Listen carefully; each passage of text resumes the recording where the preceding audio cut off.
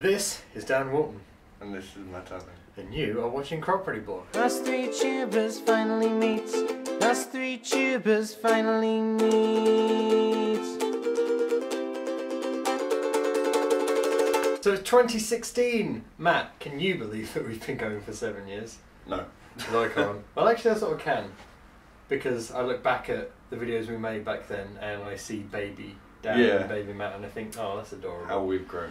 We're men now. So we asked you guys on Facebook and on Twitter, but mostly on Facebook, to ask us some questions that we could answer in a Cropredy Blog Q&A. So we're now going to give you the answers to those questions, because that's how Q&As work.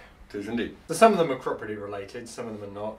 The first question we've got is, what is your favourite brand of guitar strings, or any strings for that matter? Um, personally, Elixirs. They, um, I've only been using them recently, but I was going through strings every two weeks, and have had the same set on, and they still they've kept their tone, they've kept their strength. That's that's they're the set I would recommend for acoustic. So another question we had was, where do you see Cropredy Blog in ten years' time? I don't know if I've really thought that far into the future. But having said that, like I probably wouldn't have seven years ago thought about the present day. Yeah. So I don't know, like I'd quite like Cropredy Blog to be like a bigger brand thing. I don't know about you, I'd quite like to have like a maybe like a full franchise and like a whole team of people, ideally. Set up shop so Yeah, yeah. I would like to say at Cropredy.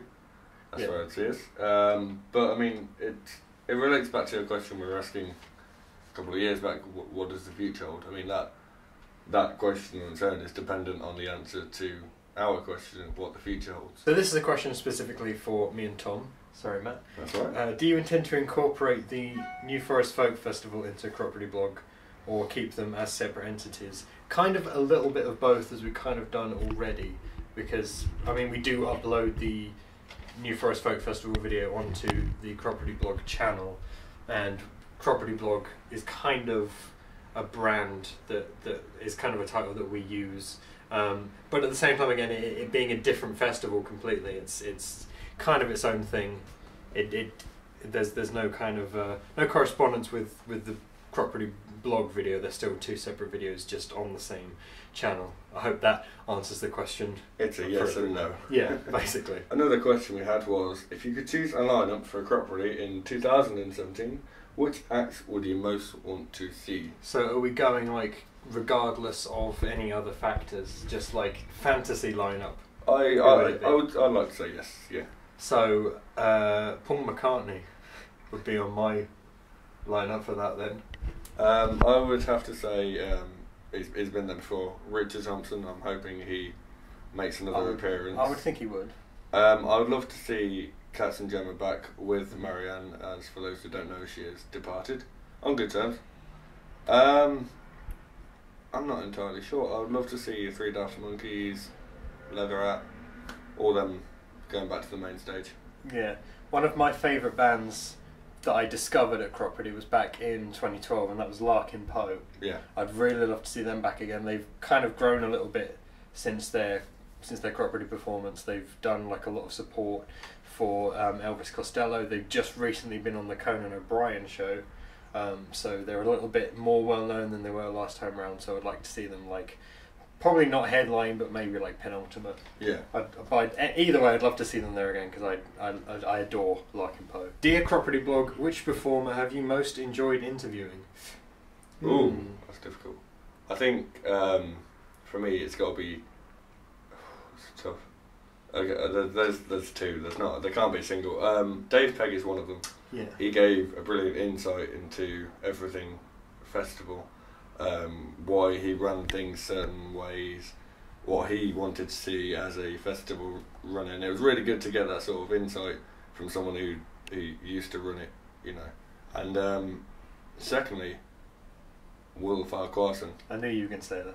He was because he didn't necessarily talk about all things festival. So it's like the other end of the scale. He was, you know, he's talking about everything else and just just generally having a nice chat, which was good to sort of stray away from the normalities of it all. I'd quite like to say Dave Pegg as well, even though I was kind of stood back for that one and you mostly did Yeah. the talking. Um, but actually, we've interviewed them twice, and that's Chris Leslie and Rick Sanders. Yeah. Because they're always just such fun to speak to. Yeah. Always. Uh, and what I like about them is they there's a lot of um, back and forth questioning. You notice that? They'll ask us questions Yeah, as yeah. well, and that's really fun. Just it just to have a conversation, like a proper Yeah. conversation going. And it just comes across really well on screen, I think. They, and two lovely guys as well. Yeah, and yeah. you couldn't ask for two nicer people to, to chat to. We've got two related questions here, and they are related to free hugs. One says, "Why did you stop doing the free hugs?" And then one says, "Why did you start?"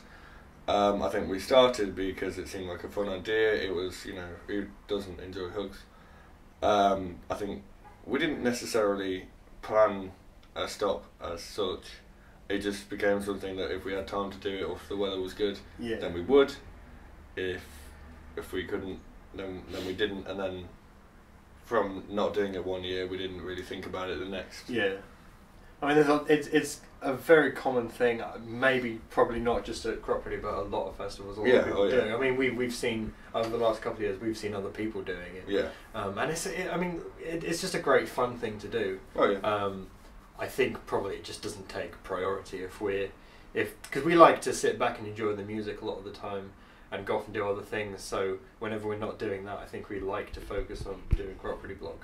Um, so I think it just sort of kind of gets forgotten about, but we will bring it back one Yeah. year. We will do it again. We promise. We have another question that's sort of Cropredy related, sort of isn't. It says um, people in America, anywhere, different countries want to know about affordable flights and lodgings.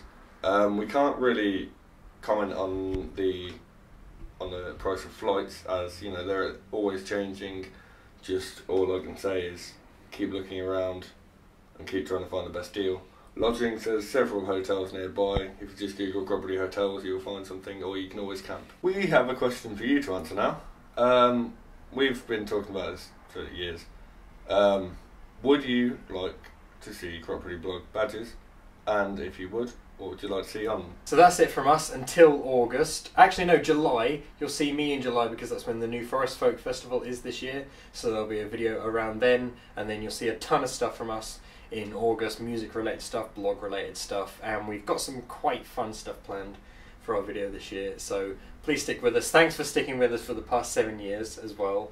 We really like hearing your feedback and hearing what you guys have to say on Facebook and on, on the YouTube comments and on Twitter. Don't forget to follow us on all of those things. We've also got Instagram We and, and we have a Snapchat as well. Yes. If you fancy following us on that. Thanks very much. Thank you. Goodbye from us and goodbye from the hotel background that we always seem to have.